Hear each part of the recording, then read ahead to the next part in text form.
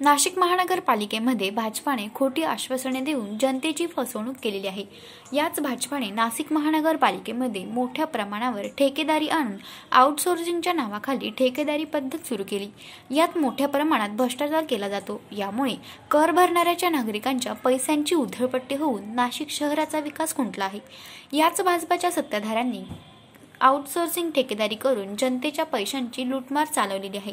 तसेच ठेकेदार पोचण्याचे काम केले जात आहे. यात मनपातील काही अधिकारीही सामील असून हेच अधिकारी ठेकेदारांनाही प्रोत्साहन देत अशी शंका उपस्थित केली जात आहे.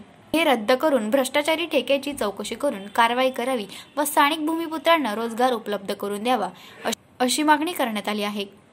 अन्यथा तीव्र आंदोलन करण्यात येईल असा इशारा देण्यात आला. या आंदोलनात काँग्रेसचे शहराध्यक्ष शरद आहेर बबलू खैरे स्वप्नील पाटील सुरेश मारू यांच्यासह अनेक पदाधिकारी उपस्थित होते.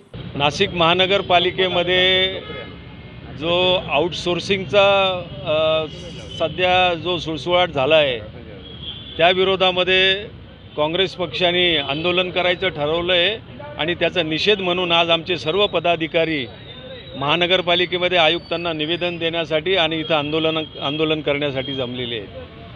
महानगरपालिकेमध्ये आज सर्व जे डिपार्टमेंट आहे त्या डिपार्टमेंटमध्ये ठेकेदार पद्धत सुरू झालेली आहे. आणि त्या ठेकेदारीमुळे महानगरपालिका ठेकेदारांना आंदन दिली का काय अशी परिस्थिती आज निर्माण झालेली आहे. परवाच्या दिवशी एका घंटागाडीच्या ॲक्सिडेंटमध्ये सातपूरला एक तरुण मुलगी त्याच्यामध्ये खलास झाली.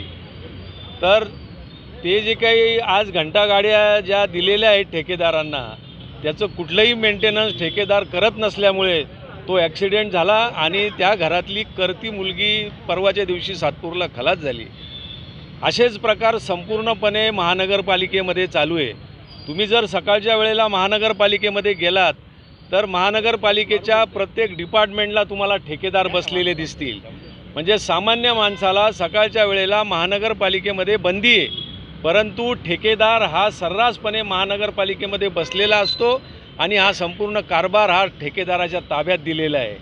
तसंच इतर जे काही डिपार्टमेंट आहेत त्या डिपार्टमेंटमध्ये मग तो गार्डन विभाग असेल किंवा वॉलमनचा ठेका असेल ड्रायव्हरचा ठेका असेल हे सर्व ठेके दिल्या गेलेले आहेत.